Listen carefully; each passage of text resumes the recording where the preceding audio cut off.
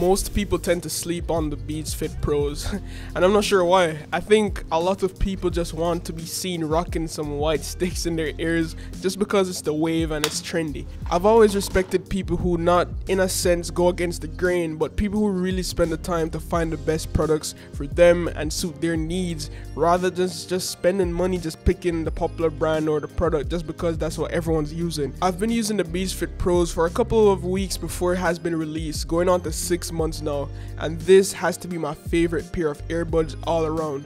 There's only one thing I hate about the Beats Fit Pros, and it's the fact that there's no wireless charging, but aside from that, it's the perfect earbuds for me.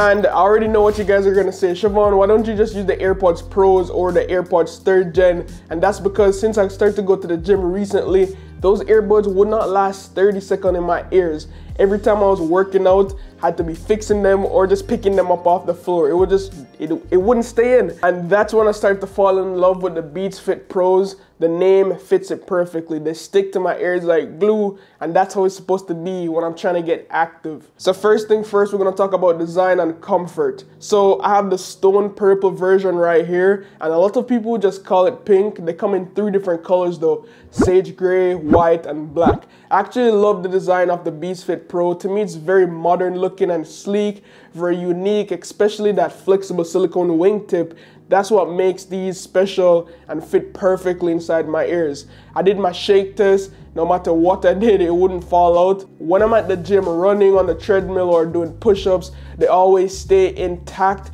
even when I'm sweating. These are also IPX4 rated for sweat and water resistance. So if you try to run in the rain, you should be good. Now, I know off the bat, I'm making these earbuds seem like they're only for the gym and being active, but it's great for just lounging around in the house or wearing them out casually. I do see a couple people wearing this out casually on the streets, which is nice to see. The style is great and because of the H1 chip inside, it seamlessly pairs across all my Apple devices just like regular AirPods do. Now, one thing I must admit is that these are not so comfortable for over 8 hours or more like the AirPods 3rd gen, and I think that's just because of the wingtip and the pressure it adds to your ears over time. But aside from that, it's really comfortable. Now, in terms of the case, it's not as small as the AirPods, so boom, you can already see the size difference. Yes, it's kind of bulky. If you open it as well, you could see Beats Fit Pros, it's magnetic, so if you shake it, it doesn't fall out. It has all the quirks and features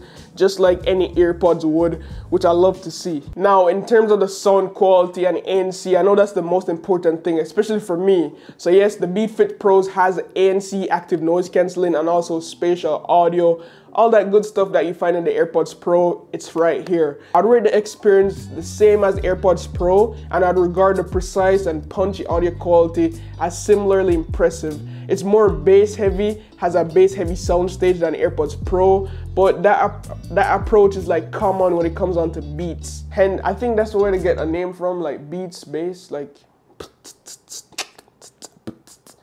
no? So yeah, the audio quality, it sounds very rich, polished. There's not much I could say here. Like, if you listen to AirPods Pros before, it's like that, but with more bass. And because of this like closed wingtip, how it's like inside your ears, it's just like it's more condensed and the audio quality is just pure. You know what I mean? The highs are great, the mids are awesome. It's it's an overall good earbuds for the price of 200 US dollars. It can't be beat. Now, another thing that's super, super important is the transparency mode. I've heard a lot of earbuds with very, very, very trash transparency mode and this is what makes me just throw them out in a trash can. But the transparency mode on the Beats Fit Pro are stellar.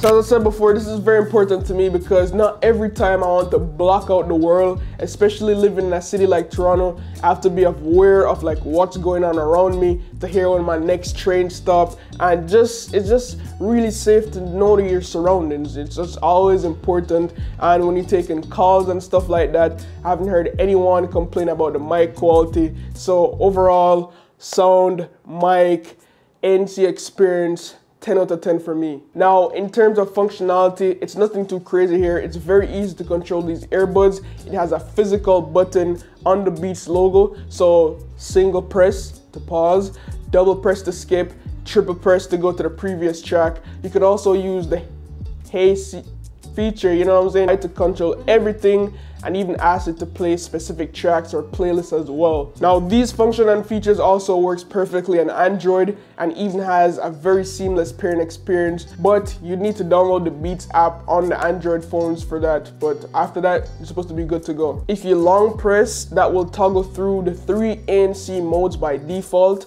but if you want to, you could change it to volume control within the Beats app or within the iOS settings app. So super simple, but one thing I must say is that sometimes when I'm at the gym, I'm trying to skip a track. No, when I'm at the gym and I'm trying to just fix my earbuds, like position it, sometimes I find myself pausing the track or it's like repeating. So I, I don't know. I kind of like the AirPods Pro version of like the stem because I feel like it's more convenient, especially if you're just trying to fix your earbuds and then you find yourself switching the tracks. So that's one thing I kind of hate as well, but it's not too much of a big of a deal. Now on to battery life. Honestly, I can't really tell the last time I've charged this and I've been using it for like a week and a half now. So the battery life is really good. You get six hours of playback when ANC is turned on and when it's inside the case you get a total of 27 hours and if you're on team android you don't need to walk around with multiple chargers because it uses a USB-C port. In terms of reducing this, it comes with fast charging support. So in just five minutes,